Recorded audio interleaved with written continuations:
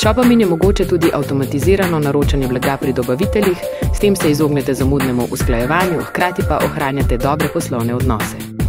Ob prijavi v business-to-business sistem lahko partnerji spremljajo svoje pogoje poslovanja. Shopamin pa se poleg tega lahko enostavno poveže z zunanjimi poslovnimi sistemi za vodenje zalog in računovodstva. Ker državne in jezikovne meje ne smejo biti ovira, lahko za različne jezike nastavite različne domene, cene dostave, načine plačil in davke. Celotno trgovino pa lahko prevedete v izbran jezik. Poleg vsega tega vam Shopamin ponuja še umestnik v slovenščini, spletno analitiko prodaje, brezplačno gostovanje in brezplačne nadgradnje. Shopamin. Pozabite na tehnologijo in začnite prodajati danes.